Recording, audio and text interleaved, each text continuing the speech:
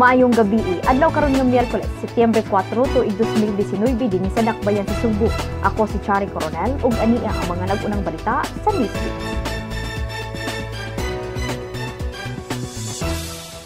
Samdan ang duha ka pulis o usa ka gituuhang durugista sa nahitabong pinusilay atul sa gipahigayong bypass operation sa Dan AS Fortuna sa Dakbayan sa Mandawi kaganihang buntag.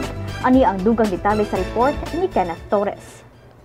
Naangol ang usa ka gituuhang durugista sa nahitabong pinusilay atul sa gipahigayong buy-bust operation sa Dan AS Fortuna sa Dakbayan sa Mandawi kaganihang buntag. Gihimo ang buy-bust kilid sa usa ka funeral chapel apan dihang nakabantay ang subject sa buy-bust nga pulis iyang katransaksyon. Dali kining nipadagan sakay sa usa ka itom nga sports utility vehicle. Nagukod pa sa kapulisan ang maong suspect hangtod naabot sila sa usa ka dakong tindahan sa hardware sa maong dapit. Na corner sa pulis ang suspect apan giingong dali kining nibunot sa iyang armas dayong pamusil. Dinhi na nahitabo ang pinusilay tali sa gituuhang durugista ug upat ka mga sakop sa Drug Enforcement Unit sa Kanduman Police Station. Duha ka pulis ang nasamdan human nga igo sa pagpamusil. Naigo sa bukton ug likod ang maong subject sa buy-bust nga si Jason Villa. Giilang newly identified drug player si Villa.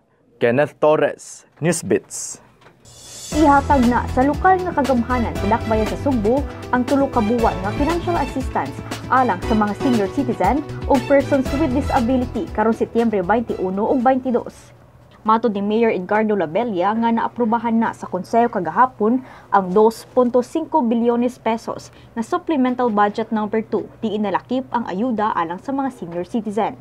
Sa 2.5 bilyones pesos, 455 milyones pesos ang alang sa mga senior, samtang 80 milyones pesos alang sa mga PWD. 3,000 pesos ang madawat sa matag usa dugang ni Labella nga ilang hatagan og prioridad. Ang 75,000 ka mga lolo ug lola ug dili una iapil ang bagong aplikante nga narehistro sa syudad sa Sugbo sa tuig 2011 hangtod 2013 subay sa mandatory ordinance pagpanghatag sa maong hinabang. Ipahigayon ang distribution sa mga barangay hall ug sports complex sa matag barangay alang sa tong Superboard, makapahimulos na unya sa 50 milyones pesos gikan sa malasakit program ang katawhan sa dakbayan sa Sugbo. Kini human gipahibaw ni Yvonne Cani Feliciano kinsa administrator sa Cebu City Medical Center nga adunay gigahin hinabang ang nasundong kagamhanan aron ihatag sa Cebu City Medical Center. Sigo ni Feliciano nga posibleng mapahimuslan ang malasakit program sugod karong Setyembre 16 diin libre na nga magpatambal sa CCMC ang mga pasyente. Alang sa Balitang Sports, aniya si Kenneth Torres. Human nga nakatilaw ang Gilas Pilipinas ug duha nga kapildihan sa ilang kampanya sa 2019 FIBA Basketball World Cup. Buhi pa ang paglaom sa Gilas alang sa 2020 Olympics nga ipahigayon sa Tokyo, Japan. Kini gumikan kay posible pang makasulod ang Gilas sa Olympics. Human nga gipukan sa Poland ang host China pinaagi sa overtime sa FIBA World Cup. Sa mga kausaban nga nahitabo sa format sa FIBA, gikonsiderar na ang World Cup nga usa sa qualifying events alang sa Olympics. Pito ka mga teams gikan sa World Cup ang makakwalify og kini mao ang top 2 teams sa Europe ug America. Lakip na ang number 1 team sa Africa, Asia ug Oceania. Ang Gilas nadakin-as na sa classification stage human nga nakaangkon og dakong kapildihan sa Group D batok Italy ug Serbia. Apan kung walay teams gikan sa Asia ang makaabante sa sunod nga round sa World Cup, ang classification stage maoy basihan sa pagpili og representante sa Asia alang sa Olympics. Aduna pa'y puruhan ang gilas nga malabuan ang posisyon sa China kung mapildi nila sa katapusang tahas sa group stage ang Angola.